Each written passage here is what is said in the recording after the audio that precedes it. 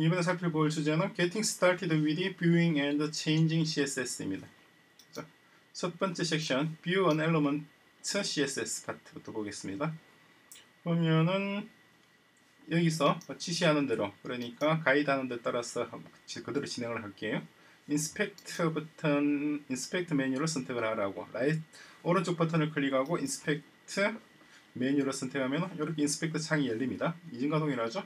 DOM 트리에서 DOM 트리에서 data message attribute를 찾아보라는 거죠. inspect me element에 그죠? element와 attribute 용어들 잘 봐두시기 바랍니다. 지금 여기서 어, 이 element me element입니다. 그 중에서 data message라고 하는 건 이거고 property attribute이죠. 그것의 값은 peekaboo peekaboo를 여기 아래 박스에 넣으라고 되어 있잖아요. 이렇게 넣으면 됩니다. 다음에 스타일 탭 on 음, 스타일 탭에서 그죠? 음, inspect me element가 그대로 보이고 있겠죠. 왜냐하면 원래 지금 이게 선택되어 있잖아요. 그러면 스타일 탭에서도 지금 이 element에 대한 정보들이 쭉 나타나고 있습니다. 그죠? 근데 이 element는 클래스가 알로하 클래스에 들어가 있죠. 그러니까 알로하 클래스가 지금 표시되고 있죠. 그죠? 알로하 클래스의 property padding, padding property 여기서는 property라고 표현합니다. 여기서는 우리가 attribute라고 얘기했었죠. 용어가 좀 달라요. 왜냐하면 이 object이기 때문에 그래. 그렇죠? 그리고 value가 무엇인가? value를 여기다 담아봐라고 돼 있죠. 1, 2에 담았으니까 correct 메시지가 떴습니다.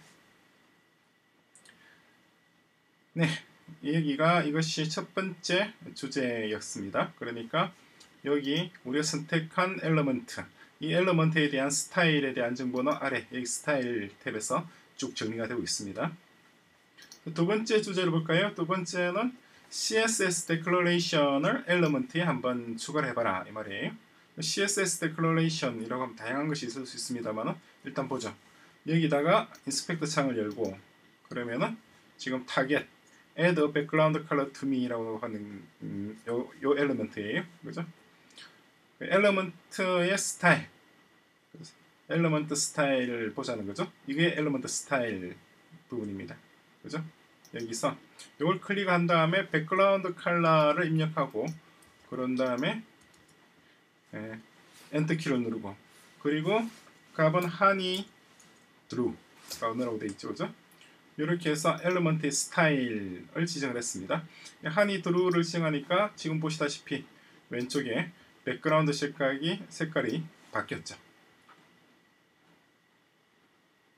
이런 식으로 어, 그러니까 CSS 스타일 declaration 이게 스타일의 element 스타일 형식으로 해서 우리가 어떤 속성들을 더 추가할 수가 있습니다. 다음 세 번째 섹션 들어가시 보겠습니다. 어떤 element에 CSS 클래스를 추가하는 것, 스타일을 추가하는 것이나 뭐 클래스를 추가하는 것이나 큰 차이는 없어요. 기본적으로 동작 같습니다. 오른쪽 버튼을 클릭해서 inspector 창을 누르고 역시 이번에 타겟 add a class to me 돼 있죠. 그죠? 여기서 이번에는 메뉴 styles에서 CLS 돼 있는 부분 있잖아요.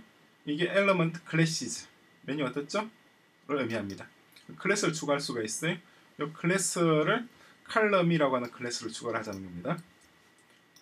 칼럼이 추가를 했습니다. 추가하니까 어떻게 됐나요? 맨 밑에 바로 칼럼이라는 게 하나 나타났죠? 나타났고 이 칼럼이는 어, 요런 왼쪽에 보이는 것처럼 이런 식의 어떤 애니메이션, 컬러 애니메이션을 보여주는 그러한 클래스입니다. 그걸 불러와서 적용을 한 겁니다. 자 그러면 간단한 퀴즈입니다. 이 color me라고 하는 클래스가 어디서 왔는지 우리가 이런 클래스를 만들지 않았잖아요. 만들지 않았는데 바로 적용해서 쓰고 있죠. 어디서 왔는지 한번 여러분들이 찾아보십시오. 그러니까 여기는 어, 웹페이지 element 요소들을 자세히 보게 되면 어디서 왔는지 알 수가 있을 거예요. 힌트가 있습니다.